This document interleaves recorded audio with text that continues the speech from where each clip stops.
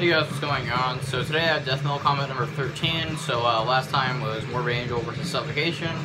And Morbid Angel, in my opinion, rightfully uh, won. So, oh, we're also listening to Morbid Angel in the background, coincidentally. But anyways, uh, this one is pretty obvious who the winner is going to be. Morbid Angel versus Atheist, because Atheist won against uh, Nocturnus.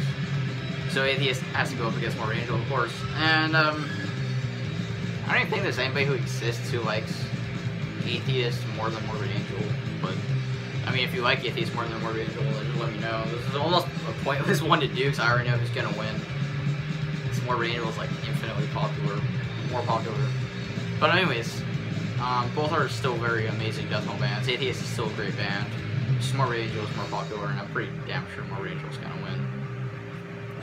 But yeah, so it's not really very much of a fair match, but according to the rules, probably made this has to happen. So yeah, we know he like more Morbid Angel or Atheist. So, uh, yeah. But, uh, yeah, that's it for this video, though.